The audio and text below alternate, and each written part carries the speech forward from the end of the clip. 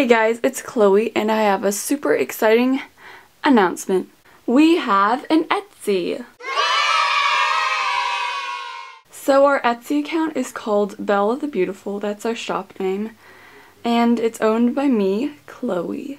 So far we have sold this doll wig, and soon I will be listing this desk, and much more.